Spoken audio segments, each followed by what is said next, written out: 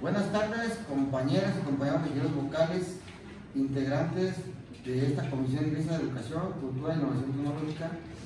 Agradezco la presencia de todos y cada uno de ustedes. Les doy la más cordial bienvenida a esta 34 sesión ordinaria de esta sesión convocada para este día con fundamento en la norma 42, 43, 51, 53, 60, 68, 1, 75, 21 del reglamento de fundamento interno de sesiones y comisiones del Ayuntamiento Nacional de Tomala, Jalisco siendo las 3.07, con 7 minutos, del día martes 17 de septiembre de 2024 damos inicio a la sesión de comisión. Para el inicio, el solito secretario técnico pase lista de asistencia. Como me lo indica, presidente, en primer punto voy a- me voy a permitir pasar lista de asistencia. Regidora vocal, Dulce Leonel García Venegas. Eh, regidora vocal, Martesela Arismendi Fumbona. Regidora vocal, Verónica Isela Morillo Martínez. Regidor vocal, Juan Carlos Villarreal Salazar.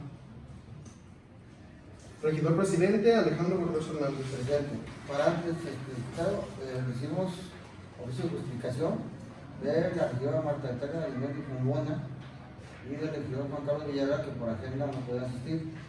Por lo tanto, pregunto a los presentes si están de acuerdo en justificar la asistencia. Por favor. Bien.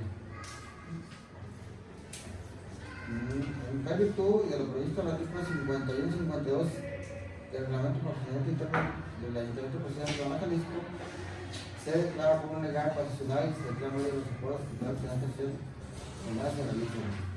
El secretario técnico continúa con la orden del día. Como me lo indica, presidente, en cumplimiento al segundo punto del orden del día, procedo a dar lectura del mismo. Ya llegó el sí. Sí, adelante. ¿Se alcanza? Algunas mañanitas. ¿Algo blanca? No, domingo. Días de los partidos. No. No, el del 15. De independencia. El llamado Porfiria. Ay, no, qué bueno que no. Dulce Porfiria. Dulce Porfiria. Bueno, mire, ya algo de presidente. Que nos vayan encaminando.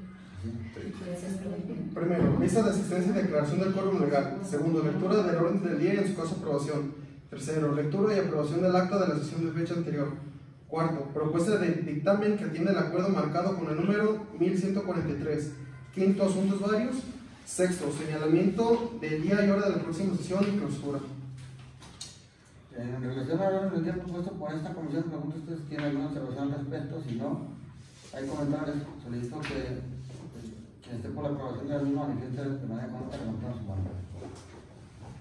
Presidente, le informo que este punto ha sido aprobado por la totalidad de los integrantes presentes. Sí. Señor secretario. El tercer punto es la lectura y aprobación del acta de la sesión de fecha anterior. Para el desahogo de este punto solicita la dispensa de la lectura de la misma por parte de este órgano colegio por haber recibido la minuta con anterioridad con el propósito de conocer el contenido de ella y a pasar a, y pasar a la firma. Quien lo cree, por favor, de levantar su mano. Presidente, le informo que ese punto ha sido aprobado. El, el siguiente punto es la propuesta de dictamen que atiende el acuerdo marcado con el número 1143. Compañeras y compañeros, presento a su consideración la propuesta de dictamen que atiende el acuerdo marcado con el número 100 1143. Quien esté por la afirmativa del proyecto de dictamen antes mencionado, le pido que esté por favor de manifestar levantar su mano. Presidente, le informo que el proyecto de dictamen ha sido aprobado por la totalidad de los integrantes presentes. Sí. Eh, continúe, secretario. El siguiente punto es asuntos varios. ¿Tiene, tiene algún, asunto ahí? Bien. Eh, no hay ningún asunto continuamos.